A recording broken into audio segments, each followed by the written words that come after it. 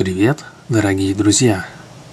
В статье в российской газете под названием «Офтальмологи открыли способ улучшить зрение с помощью красного цвета» говорится про трехминутное воздействие темно-красным светом длиной волны 670 нанометров – в заключении говорится, исследование предварительно показало, что можно значительно улучшить зрение, которое ухудшилось у пожилых людей с помощью кратковременного воздействия волн света.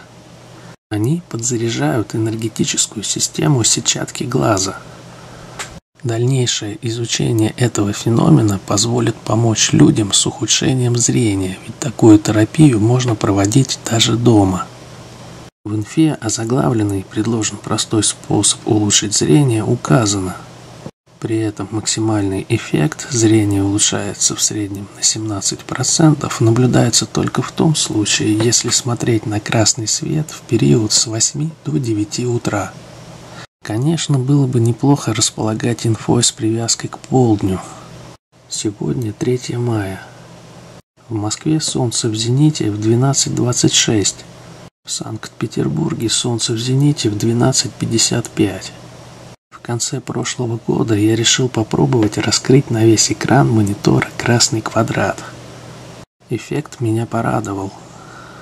Не уверен, что подобное будет работать на старых мониторах с электронно-лучевой трубкой.